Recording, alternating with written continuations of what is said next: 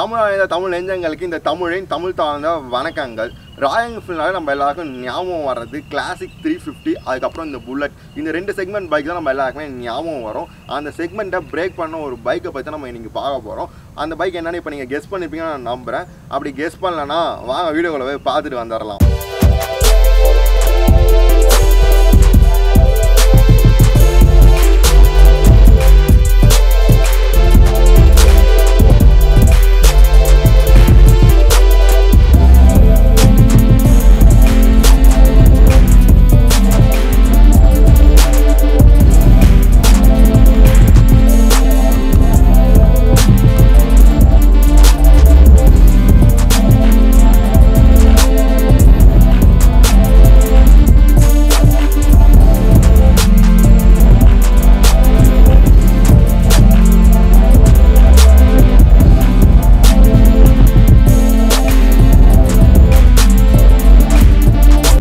பைக்கை நாங்கள் ரிவ்யூ பண்ணணும் கண்டிப்பாக வந்து உங்களுக்கு தெரிஞ்சிருக்கும். அப்படி தெரியலனா ஆமாங்க ராயல் என்ஃபீல்டோட ஹிமாலயன் பைக்கை தான் நம்ம வந்து இப்போ ரிவ்யூ பண்ண போகிறோம் இந்த பைக் பார்த்தீங்கன்னா ரீசெண்ட் டைம்ஸ் வந்து அதிகமாக சேல்ஸ் ஆகிருக்கு அது மட்டும் இல்லாமல் லாஸ்ட் இயர் லாஸ்ட் இயரில் வந்து அதிகமாக சேல்ஸ் ஆன பைக் இதுதான். கிளாசிக் த்ரீ ஃபிஃப்டி கூட கம்பேர் பண்ணும்போது இப்போதைக்கு அதிகமாக சேல்ஸில் இருக்கிற பைக்கும் இதுதான். இந்த பைக் இப்போ நிறையா டிமாண்ட்ஸும் வந்துகிட்டு இருக்கு.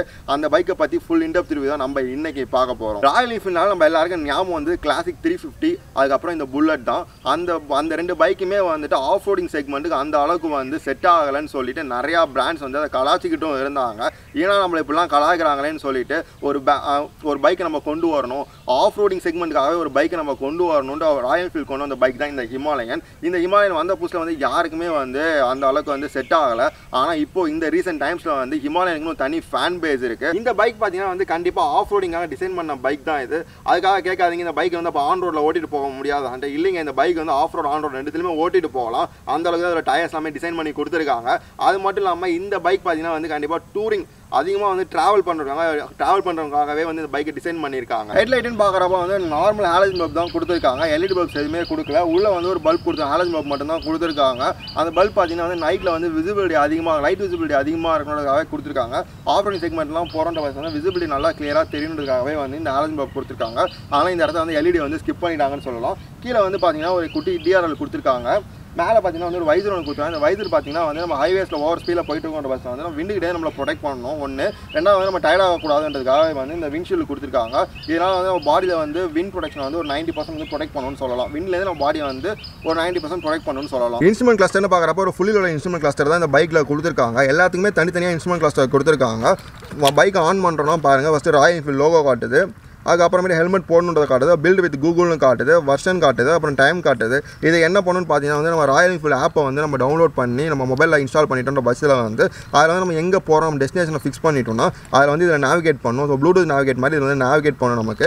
பக்கத்தில் இருக்கிறது பார்த்தீங்கன்னா வந்து கியர் போர்ஷன் இண்டிகேட்டர் அதுக்கப்புறம் ஃபியூல் இண்டிகேட்டர் மேலே வந்து ஆர்பிஎம் வந்து எவ்வளோ ஆர்பிஎம் நம்ம வண்டி ஓட்டுறது காட்டுறதுக்கான இண்டிகேட்டர் அப்புறம் பக்கத்தில் இருக்கிறது பார்த்தீங்கன்னா எவ்வளோ கிலோமீட்டர் ஸ்பீடில் போகிறதுக்கான காட்டுறது இண்டிகேட்டர் கீழே வந்து ஒரு குட்டி டிஜிட்டல் கன்சோல் கொடுத்துருக்காங்க. அது என்னன்னு பார்த்தீங்கன்னா வந்து ட்ரிப் ஒன் ட்ரிப் டூ அப்புறம் எவ்வளோ கிலோமீட்டர் நம்ம ட்ராவல் பண்ணுறோம் எவ்வளோ வந்து நார்மல் ஃபியூல் எக்கனாமி எவ்வளோ இருக்குது அதுக்கப்புறமேட்டு எப்போ சர்வீஸ் ஒன்று வண்டின்றதை வந்து காட்டுறதுக்கான தனியாக இண்டிகேட் கொடுத்துருக்காங்க. அப்புறமேட்டு பார்த்தீங்கன்னா பே நியூட்ரல் போகிறதுக்கான இது அப்புறம் பேட்ரிக்கு அப்புறம் ஏபிஎஸ்க்கான ஆப்ஷன் கொடுத்துருக்காங்க. இதில் வந்து பைக்கில் வந்து டியூல் சேனல் ஏபிஎஸ் கொடுத்துருக்காங்க வந்து நம்ம வந்து ஏபிஎஸை ஆஃப் பண்ணிக்கலாம். இந்த பட்டன் வந்து ரொம்ப நேரம் ப்ரெஸ் பண்ணோம் லாங் ப்ரெஸ் பண்ணுற பட்சத்தில் வந்து ஏபிஎஸ் நம்ம வந்து ஆஃப் பண்ணிக்கலாம். டேங்க் கெப்பாசிட்டி பார்க்குறப்ப வந்து ஒரு fifteen litre tank petrol tank கொடுத்துருக்காங்க. இது வந்து பார்த்தீங்கன்னா ஃபிஃப்டின் லிட்டர் வந்து ரொம்பவே அதிகம்னு சொல்லலாம் நம்ம அது வந்து லாங் ட்ராவல் போகிறோம் ரொம்ப லாங்கில் ட்ராவல் பண்ணுறவங்க வந்து ஃபிஃப்டின் லிட்டர் வந்து கண்டிப்பாக ஒரு பெஸ்ட்டு டேங்க்னு நம்ம சொல்லலாம். எனக்கு தெரிஞ்சு இது வரைக்கும் நான் ரிவ்யூ பண்ண பைக்கில் வந்து ஒரு ஃபிஃப்டின் லிட்டர் டேங்க் கெப்பாசிட்டி வந்து இருக்க. ஒரே பைக் வந்து ஹிமாலயா தான் நினைக்கிறேன் நான்.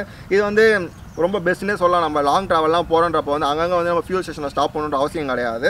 நம்ம ஒரு தடவை ஒரு டைம் ஃபில் பண்ணிட்டோன்ற பட்சத்தில் வந்து கண்டிப்பாக வந்து ஒரு ஃபிக்ஸட் டெஸ்டினேஷன் நம்ம போக முடியும். அதுக்காக ஒரு பெரிய ஃபிஃப்டின் லிட்டர் டேங்க் கெப்பாசிட்டி கொடுத்துருக்காங்க. இது ஒரு டூரிங் செக்மெண்ட் பைக்குன்றனாலே வந்து இதுக்கு வந்து ஒரு ஃபிஃப்டின் லிட்டர் டேங்க் கெப்பாசிட்டி கொடுத்துருக்காங்கன்னு சொல்லலாம். சீட் ஹைட்னு பார்க்குறப்ப வந்து eight hundred MM seat height கொடுத்துருக்காங்க. இது வந்து பார்த்தீங்கன்னா five point five feet and above இருக்கிறவங்க வந்து கண்டிப்பாக வந்து இந்த சீட் ஹைட் வந்து பெஸ்ட்டாகவே இருக்கும்னு நம்ம சொல்லலாம். அது மட்டும் இல்லாமல் வந்து ஸ்பிட் சீட்டாக கொடுத்துருக்கனால வந்து நம்ம வந்து பில்லியன் ப்ளஸ் ரைடர் வந்து கம்ஃபர்ட்டாக உட்காந்துட்டு போகலாம். ரைடரோட சீட் பார்த்தீங்கன்னா நல்லா ஸ்பேஸாகவே இருக்குது அது மட்டும் இல்லாமல் பில்லியன் சீட்டுமே நல்லா ஸ்பேஸாக இருக்குது ஸோ வந்து எவ்வளோ ஃபேட்டாக இருக்கிறவங்க வந்து உட்காந்தாலுமே வந்து கண்டிப்பாக அவ்வளோ ஸ்பேஸ் இருக்குது அது மட்டும் இல்லாமல் இந்த சீட்லாம் பார்த்தீங்கன்னா வந்து குஷனிங் வந்து நல்லா செம்மையாக பண்ணி கொடுத்துருக்காங்க. லாங் ட்ராவல்லாம் போகிறோன்ற பட்சம் வந்து நம்ம பேக் பெயின் வரக்கூடாதுன்றதுக்காக இந்த குஷனிங் வந்து நல்லா பண்ணி கொடுத்துருக்காங்க. ரைடருக்கு மட்டும் கிடையாதுங்க பில்லியனுக்குமே வந்து குஷனிங் நல்லா பண்ணி கொடுத்துருக்காங்க. இன்ஜின் பார்க்குறப்ப two point five litre single cylinder engine கொடுத்துருக்காங்க. இதில் வந்து ஏர் கூல் ப்ளஸ் வந்து ஆயில் கூல் டெக்னாலஜி கொடுத்துருக்காங்க. இன்ஜினோட சிசின்னு பார்க்குறப்ப வந்து ஃபோர் ஹண்ட்ரட் சிசி பவர் டெலிவரின்னு பார்க்குறப்ப வந்து மேக்ஸிமம் டுவெண்ட்டி ஃபோர் பிஹெச்பி வந்து கொடுத்துருக்காங்க. டார்க்னு பார்க்குறப்ப தேர்ட்டி டூ என்எம் கொடுத்துருக்காங்க.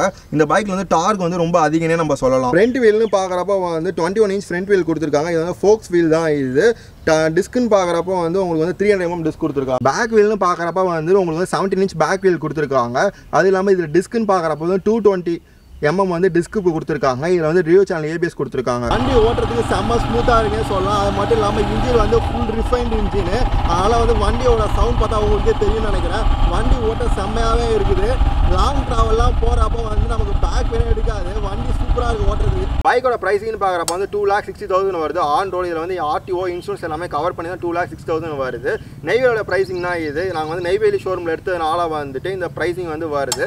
உங்கள் ஊர் ஷோரூமுக்கு வந்து இது டிஃபர் ஆகும் கண்டிப்பாக நீங்கள் வந்து பக்கத்தில் ராயல் என்ஃபீல்ட் ஷோரூமில் போய் செக் அவுட் பண்ணி பார்த்துக்கோங்க. இந்த வண்டியில் எனக்கு ரொம்ப பிடிச்ச விஷயம் என்னன்னு பார்த்தீங்கன்னா இந்த வண்டியோட ஹைட்டு தாங்க ஃபஸ்ட்டு இந்த வண்டியோட ஹைட்டு பட் சீட்டிங் போஸ்டர் கொடுத்துருக்காங்களா? ரொம்ப நல்லாவே கொடுத்துருக்காங்க. இது வந்து சிங்கிள் பீஸ் ஹேண்டில் பார் கொடுத்துருக்கனால வந்து நம்ம வந்து ஈஸியாக வந்துட்டு டேர்னிங்லாம் டேர்னிங்லாம் வந்து ஈஸியாக வளைக்க முடியும் நம்மளால. இது ஒரு பெரிய விஷயம் இந்த வண்டியில். அதுக்கப்புறமேட்டு பார்த்தீங்கன்னா சீட் ஹைட் வந்து நல்லா குஷனிங் பண்ணி கொடுத்துருக்காங்க.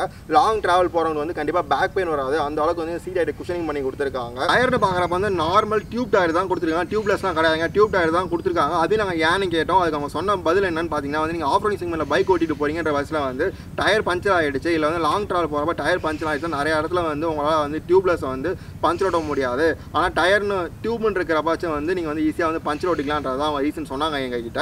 அது மட்டும் இல்லாமல் இது ஃபோக்ஸாகவும் கொடுத்துருங்க அலாவில்லாம் கிடையாது கிடையாது.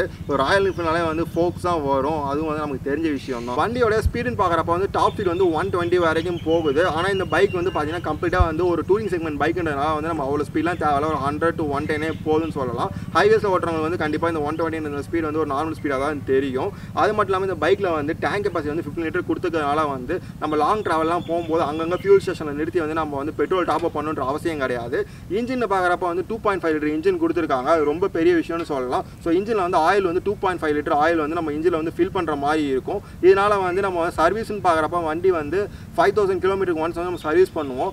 ஆயில் சேஞ்சுன்னு பார்க்குறது டென் தௌசண்ட் கிலோமீட்டருக்கு ஒன்ஸ் வந்து நம்ம சேஞ்ச் பண்ணுவோம். சர்வீஸ் விடும்போது வந்து ஆயில் எவ்வளோ கம்மி ஆகிருக்குன்னு பார்த்து அவங்க டாப் அப் மட்டும் தான் பண்ணி கொடுக்குறாங்க. அது வந்து பிஎஸ் சிக்ஸில் வந்து ஒரு பெரிய விஷயமா நம்ம பார்க்கலாம். அடிக்கடி வந்து பழைய மாடல் பைக்ஸ்லாம் பார்த்தீங்கன்னா த்ரீ தௌசண்ட் கிலோமீட்டருக்கு ஒன்ஸ் வந்து நம்ம மாற்றுற மாதிரி இருக்கும். இதை வந்து டென் தௌசண்ட் கிலோமீட்டருக்கு ஒன்ஸ் நம்ம மாற்றுறதுனால வந்து நமக்கு வந்து ஒரு பெரிய விஷயமா தெரியாது. ரொம்ப லாங் ட்ராவல்லாம் போகிறேன் ஆல் இந்தியா டூர்லாம் போகிறவங்களுக்கு வந்து இந்த டென் டென் தௌசண்ட் கிலோமீட்டர்ன்றது ஒரு பெரிய விஷயமா தெரியும். பைக் வந்து நம்ம ஷோரூமில் புக் பண்ணும்போது அவங்க கேட்குற முதல் கேள்வி வந்து பைக்கில் வந்து என்னென்ன அக்சரிஸ் உங்களுக்கு எக்ஸ்ட்ரா வேணும்னு கேட்குறாங்க. அதை வந்து இந்த பைக்கில் வந்து ரெண்டு விதமாக இருக்குது டூரிங் செக்மெண்ட்ற பைக்கில் வந்து எக்ஸ்ட்ரா அக்சரிஸ் வந்து வரும் நமக்கு. இல்லை நான் நார்மல் டூரிங் தான் பண்ணுவோம் லாங் டூரிங்லாம் பண்ண மாட்டேன்றப்போ வந்து நார்மல் செக்மெண்ட்டே நமக்கு போதும். எக்ஸ்ட்ரா அக்சரிஸ் வந்து தனியாக காசு நம்ம பே பண்ணி தான் ஆகணும். அவங்க வந்து எதுவும் ஃப்ரீ பண்ணி தான் தரது கிடையாது. இந்த வண்டியில் ஒரு பெரிய ப்ளஸ் என்னன்னு பார்த்தீங்கன்னா ஹேண்டில் பார் தான். இல்லை சிங்கிள் பீஸ் ஹேண்டில் பார் கொடுத்துக்கான வந்து நம்மளால் வந்து ஈஸியாக கார்னரிங் பண்ணுறதுக்கு யூ டர்ன் எடுக்கிறதுக்குலாம் வந்து வண்டி வந்து கண்டிப்பாக இந்த சிங்கிள் பீஸ் ஹேண்டில் வந்து வண்டியில் வந்து யூஸ்ஃபுல்லாக இருக்கும். வண்டியோட மைலேஜ்னு பார்க்குறப்ப வந்து லோக்கலில் ஓட்டுறோன்ற பஸ் வந்து தேர்ட்டி தருது ஹைவேஸில் ஓட்டுறோன்ற பஸ் வந்து தேர்ட்டி ஃபைவ் தருது. இந்த வண்டி வந்து டே டு டே யூசேஜுக்கு நம்ம எடுத்துகிட்டு போகலாம் ஹைவே யூசேஜுக்கும் எடுத்துகிட்டு போகலாம் ஆனால் இந்த வந்து ட்ராக் டேக்கு வந்து எடுத்துகிட்டு போக முடியாது.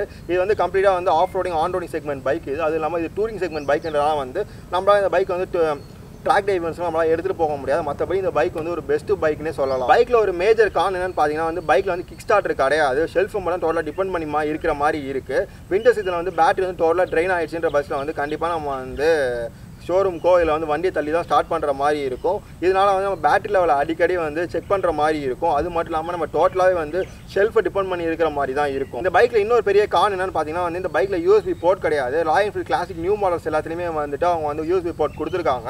ஆனால் அந்த பைக்கில் யூஎஸ்பி போர்ட் கிடையாது. அதனால் வந்து நம்ம தனியாக தான் அதில் ஃபிக்ஸ் பண்ணுற மாதிரி இருக்கும் ஒன்று அதுமாதிரி லாங் ட்ராவல்லாம் போகிறோன்ற பஸ்ஸில் வந்து மொபைலில் நேவிகேஷன் யூஸ் பண்ணுற பஸ்ஸில் வந்து கண்டிப்பாக வந்துட்டு நமக்கு வந்து யூஎஸ்பி போட்டு இருந்தால் நம்ம சார்ஜ் பண்ணதுக்கு வந்து யூஸ்ஃபுல்லாகவே இருந்திருக்கும். அது கொடுக்க வந்து ஒரு பெரிய ட்ராபேக்காக இருக்குது ராயல் ஃபீல்டு வந்து அவங்க ஃபேன் பாய்ஸ் வந்து ஒரு பெரிய கிஃப்ட் தான் கொடுத்துருக்காங்கன்னு நம்ம சொல்லலாம். ராயல் ஹிமாலயன் வந்து கண்டிப்பாக வந்து ஆஃப் ரோடிங் ஆன் ரோடிங் செக்மெண்ட்டுக்கு ஒரு பெஸ்ட் பைக் தான் இது. ஸோ ட்ராவல் பண்ணுவேன் லாங் டூர்லாம் போக நினைக்கிறவங்க வந்து கண்டிப்பாக இந்த பைக்கை சூஸ் பண்ணி பார்க்கலாம். ஷோரூம் போங்க டெஸ்ட் ட்ரைவ் பண்ணி பாருங்க. கண்டிப்பாக இந்த பைக் உங்களுக்கும் பிடிக்கும். எங்களுக்கு வந்து இந்த பைக்கை ஃபஸ்ட்டு பார்த்தோன்னே வந்து ஃபஸ்ட் இம்ப்ரெஷன் ரொம்பவே பிடிச்சி போச்சு. எப்படா ரிவ்யூ பண்ணுன்ற மாதிரி தான் எங்களுக்கு இந்த பைக் வந்து இருந்துச்சு. அந்தளவுக்கு இந்த பைக்கோடைய பில் குவாலிட்டியாக இருக்கட்டும் இல்லை இந்த சவுண்டாக இருக்கட்டும் எல்லாமே வேற லெவலில் இருக்குங்க. இந்த பைக் எங்களுக்கு வந்து பர்சனலாக ரொம்பவே பிடிச்சிருந்துச்சி. நீங்களும் ஷோரூம் போய் டெஸ்ட் ட்ரைவ் பண்ணி பாருங்கள் கண்டிப்பாக உங்களுக்கு இந்த பைக் பிடிக்கும்.